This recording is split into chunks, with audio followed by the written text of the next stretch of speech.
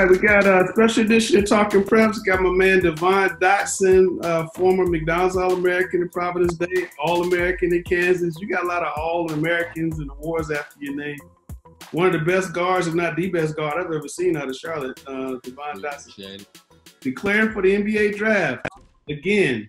What's going to be different about this time than last time? Uh, well, you know, as we know, what we're going through right now, I'm not, I'm not sure uh, what's going to be different. But uh, as I'm hearing now, uh, take it day by day, mm-hmm. and uh, just, just, just looking and seeing. Um, I feel like there's going to be some interviews, team interviews, yeah. um, during the process, and um, so I gotta get an agent and um, decide what's next. So you're not going back to school this time. You're gonna definitely sign with the agent and stay in the draft. Um, yeah, as of yep, as of right now, yes, sir.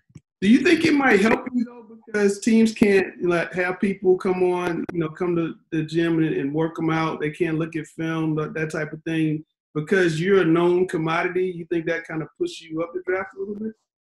Oh, that's what people are are you know kind of hinting towards that mm-hmm. you know it can help you out, but um you know um, yeah, you just never know. Um, you know, you have a good workout, shoot it well, and um, that can move you up. But um, I mean, they're saying that you had, you know, a well enough season to, mm-hmm. you know, build off that. But I mean, so uh, kind of just waiting and seeing. I want to come back to the draft a little bit, but I know you guys were it won 16 straight games in Kansas, looking like the number one overall seed, and then you're sitting in Freddy's restaurant, and what happens? Right. uh, so yeah, we come back from the Big 12. We just hear news that you know the Big 12 is canceled, the tournament is canceled, yeah. and uh, we come back to the, like I said, the dorm. You know, me and Jalen get a little hungry. Mm-hmm. We go get some Freddy's, and I uh, always look on Twitter and we just see it. You know, the, the season canceled, and um, you know, once you saw that, it was just you know, I, many how'd emotions that. How'd that hit you? Because I know you went back to get that ring this year. Just many emotions, like just like a like, like just a I, I, it's it's hard to describe. It's hard to put in words, but. Um, you know, as you got time to reflect and and um, you know, think about you know the bigger picture and and um, you know, it's bigger than basketball um mm-hmm. at that point. So um, kind of something you got to accept. You moved to Charlotte in 2011, and did you ever think back then you know, you wore the D Rose ankle braces and all that. You were playing like D Rose. Did you ever think then you'd be in a position to play in the same league as Derrick Rose? Uh, I mean, I always in back of my mind, I envisioned it. Mm-hmm. Um, mm-hmm. you know, I always just kind of, you know, imagine, picture myself like, yeah, I'm gonna be there one day. But, yeah, um, you know, now you're actually there, and it's kind of surreal. Just, I mean, I'm not there yet, but I mean, just, just seeing that the opportunity, what's what could be in front of you. Mm-hmm. Um, it's a, it's a, you know, it's amazing. But um, yeah, just keep working at it every day, and um, you know, just trying to get, get to the top. One thing people may not know, one of the biggest secrets to your game is your older brother Dalen, who you played with growing up. I mean, talk about how he shaped your game, how he made you better, how he made you into the player you are now. Uh, he, he helped a lot, um, tremendously. Just playing against him every day mm-hmm. in the driveway, um, just trying to, you know, one up him you know, him being my older brother, he was three years older than me, but yeah. But I was always just trying to you know get on his level, and mm-hmm. uh, just him just beating me down and, and always beating me. You know, that, that just pushed me to to try to improve my game and, and try to you know get on his level. So it was kind of kind of helped me out in that aspect. Just just always trying to level him, and um, I feel like that's you know I wouldn't be where I am today without you know him. Yeah, and talk about Derrick Rose's influence in your in your game. When was the first time you saw him play, and why why did you decide to try to play like him? Uh, yeah, the very first time saw him play, uh, my dad took me to his high school game, mm-hmm. and um, you know that that game I saw his athleticism, and um, you know he's just a you know just a smart player, um, and ever since then I kind of tried to you know kind of model my game here and there from from him and um, this person I looked up to in the basketball world. Every step you've been at, everybody always talks about his size. You know, he maybe he's not big enough, maybe he doesn't shoot it well enough, but you always overcome that. I mean, what is it about you that inside drive? You take all that criticism and just make it positive. Uh, you know, you you can't look at um, you know, what's what they're saying. Um, it's only you know the work that you put in, the work you know, mm-hmm. and um, uh, you know, there's going to be critics. I mean, that's their that's their job. Mm-hmm.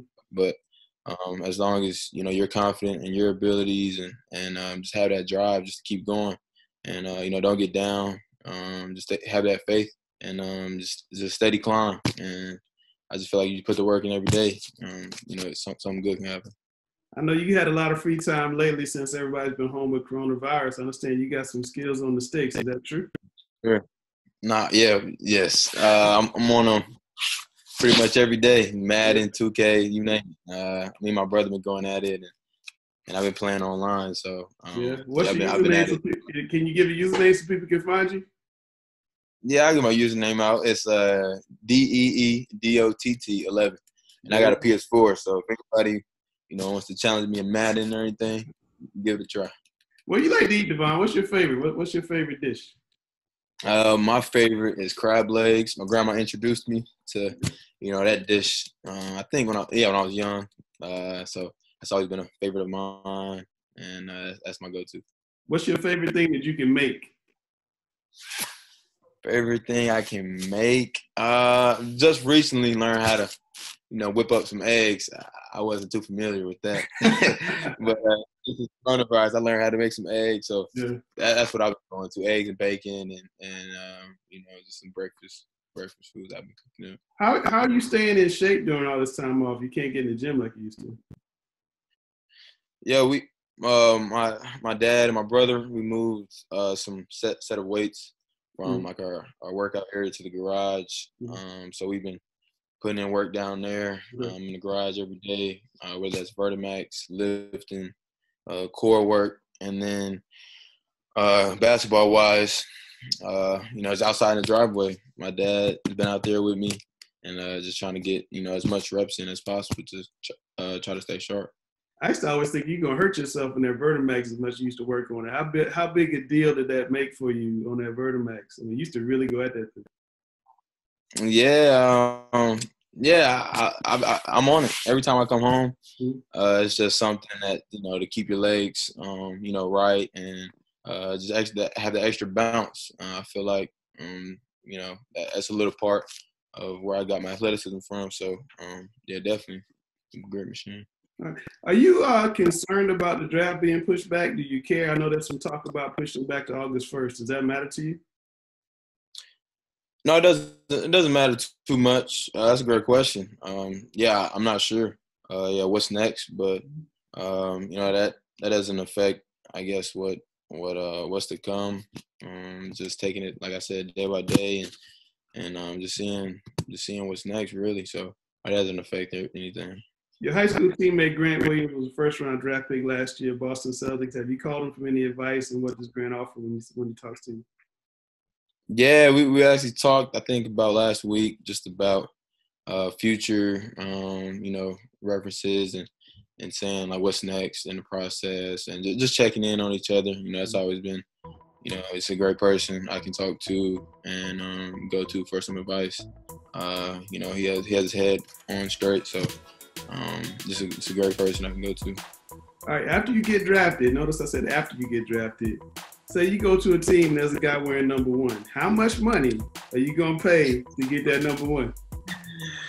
Uh, at that point, uh, numbers don't matter. Uh, if somebody has it, uh, they, they, can have it. I would I wouldn't sweat it too much. It's all good. Look, Devon, appreciate your time, man. Good luck to you.